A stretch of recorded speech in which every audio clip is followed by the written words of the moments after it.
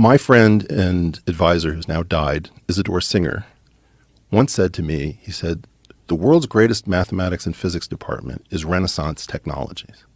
And I said, what? Didn't make any sense to me. It's great people, but it's a hedge fund. Okay, there's no, there, there used to be four fortunes in hedge funds that didn't make any sense. Um, one was D.E. one was Bernie Madoff, one was Jeff Epstein, and one was Renaissance Technologies.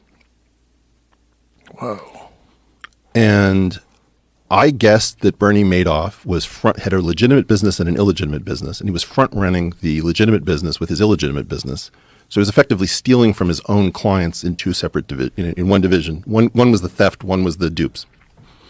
I got that wrong. He was just running a Ponzi scheme. So shame on me.